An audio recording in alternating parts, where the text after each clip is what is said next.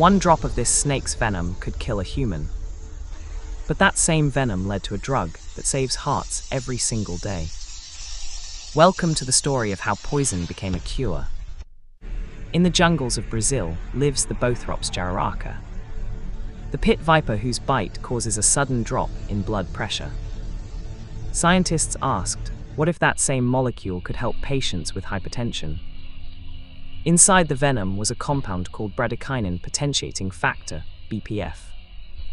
It stopped the enzyme that normally breaks down bradykinin, causing blood vessels to relax and pressure to fall.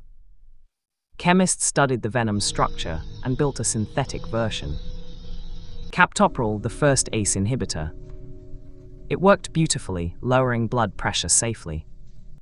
Captopril became one of the most prescribed drugs in history, treating heart failure, kidney disease, and hypertension. A killer snake ended up saving millions of human hearts. Nature is full of secrets, sometimes deadly, sometimes divine. From snake venom to heart medicine.